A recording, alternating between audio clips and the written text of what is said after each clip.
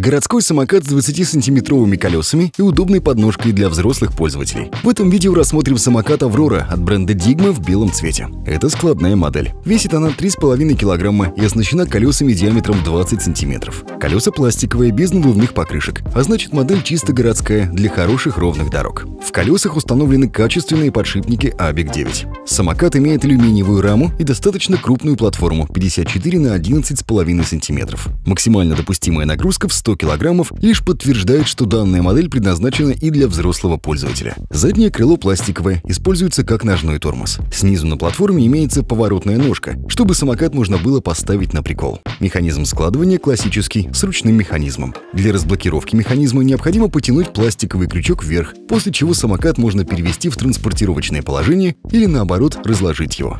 Рулевая колонка регулируется по высоте и имеет три фиксированных положения – 85, 91 и 95 см, что позволяет подстроить руль под высоту пользователя. Грипсы складные. Их можно зафиксировать на руле, уменьшив тем самым общую ширину самоката в сложенном состоянии. В таком виде общие размеры не превышают 77 на 30 на 11 см.